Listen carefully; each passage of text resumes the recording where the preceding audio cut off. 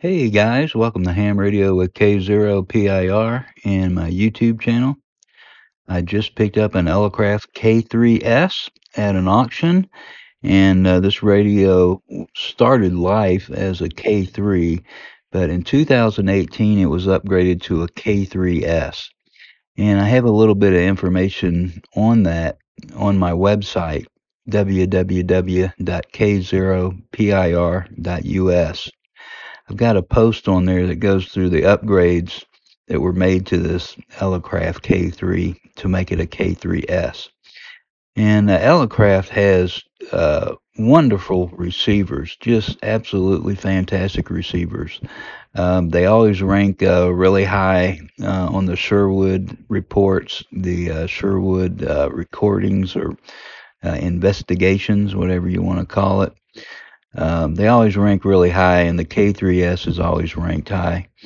Now, I, have always wondered if uh, the ICOM 7300 would hold up to a K3S, and uh, how how much difference is there? Is there that much difference? The K3, uh, if you if you buy some filters with it and add a sub receiver, will run uh, three to four thousand dollars. Now the the ICOM 7300, you know, that's uh, sub $1,000 right now. And I think it's the best buy for the money, uh, without a doubt. But how good is the receiver compared to the K3S? Well, in this video, I'm going to show you uh, what I did.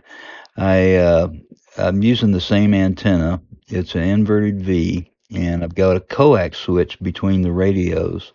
So the radios will be using the same antenna and I've uh, fixed the radios so they're uh, the same bandwidth. Uh, neither one has the uh, noise reduction or noise blanker on. However, I do uh, add those in a couple of times so you can see what they sound like. And uh, I think on that point, the 7300 is superior to the Elecraft K3S when you add uh, a little uh, noise reduction in on the K3S, you can really tell that mechanical sound is in there. And on the 7300, not so much. So uh, I did enjoy listening to the 7300 maybe just a little bit more than I did the K3S. Now I'm still uh, still playing around with it, and I've got an ICOM 7610 uh, back in the shack.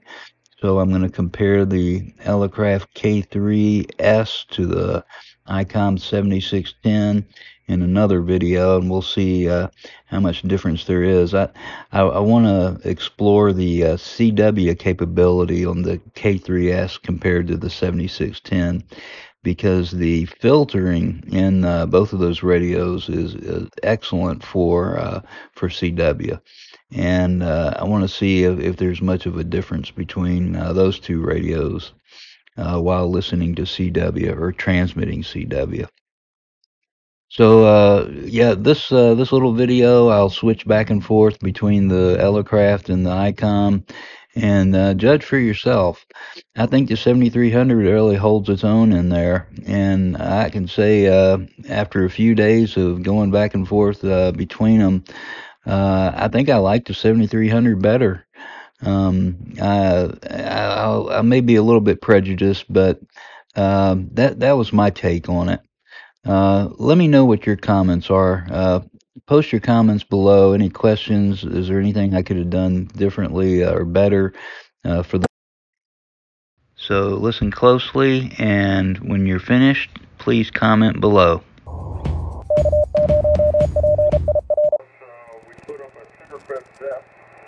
wavelength long at 90 feet. And I got to looking at it, I had this 50 foot telephone pole 300 feet away at the uh, riding arena here with the light on there for the horses. We got a ranch out here. I go, I want run the lumbar to the northeast to see what happens. So I wound a 5 kW 9 to 1 balun.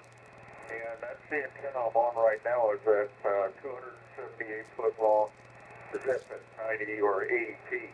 Uh, Ray, uh, his name here is Mike. Uh, Ray B7RW, K6AER, New Mexico.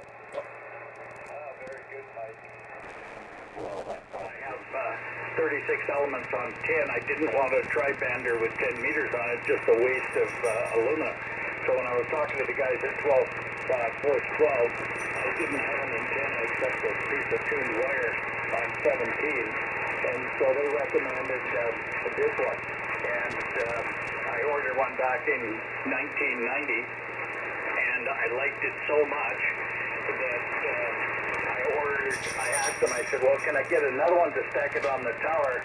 And I said at 55 feet, I wanted to put a TIC rotator on and, and put the, um, uh, the other beam at 55 feet. But can you wide space it for me so the TIC rotator would go around the tower? They said, absolutely. And I like that so much. This is the one I kept. It has a 10 foot longer boom than the original one making it uh, very broad-banded. Um, but it does have a 44-foot boom, one uh, larger diameter boom. Um, it weighs about 80 pounds more, so this one weighs about 280 pounds with a 44-foot boom. Uh, it's got four full-size elements, wide spaced on 20 meters, uh, with a separate driver. Uh, 15 meters and 17 meters have a separate uh, driver for it. And so um, I used to have uh, that one and the shorter one faced together.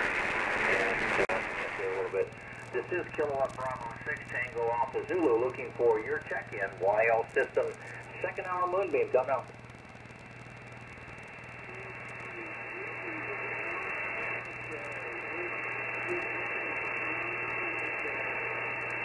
Okay, Whiskey Juliet 9 Echo. Mike, come on in.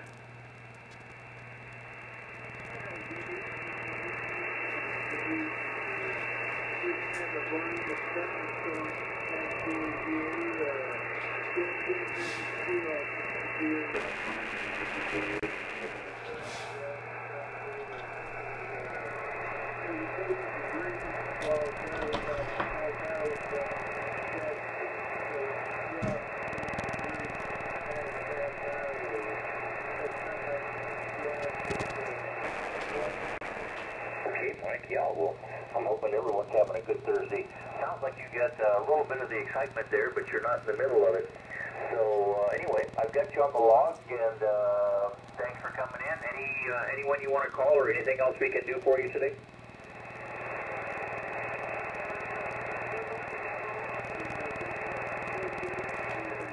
Okay, now, who is the Kilo 5?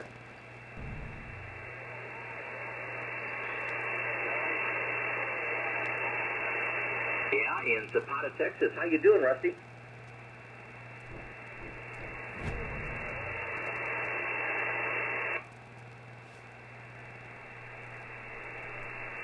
Yeah, well, if you start the air conditioner too late in the afternoon, it's playing catch-up all day. So thanks for watching. Uh, please remember to like, subscribe, and share.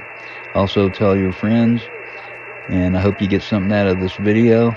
73 and good DX.